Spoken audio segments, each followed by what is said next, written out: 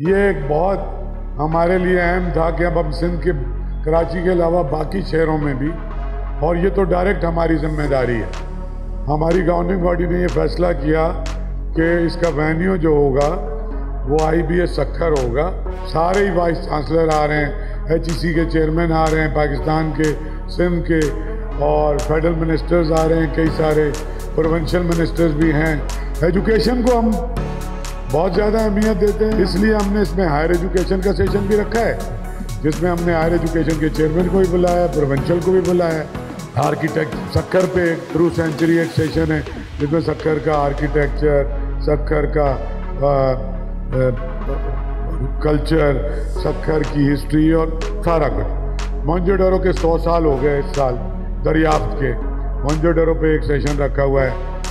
हमने fine art architecture history और archaeology पे उसको चैलेंजेस क्या हैं इस वक्त इस पर भी हम सेशन कर रहे हैं। और हम सिंधी अदब पे सेशन कर रहे हैं, हम उर्दू अदब पे कर रहे हैं। हम सिंध में सूफिया की जो रिवायत है, सचल, बैदल शामी बैदल बेकर, इन पे सूफी फकीर हैं।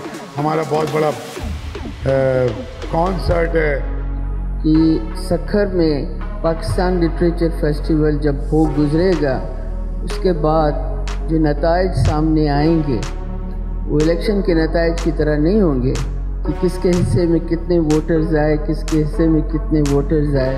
वो नतज आएँगे शूर की सूरत में। मायूसी के हदों को छू रहे हैं, मगर मायूसी इलाज नहीं है। जब सारे दिए बुझने लगें तो नए सिरे से दिए जलाए जाते हैं।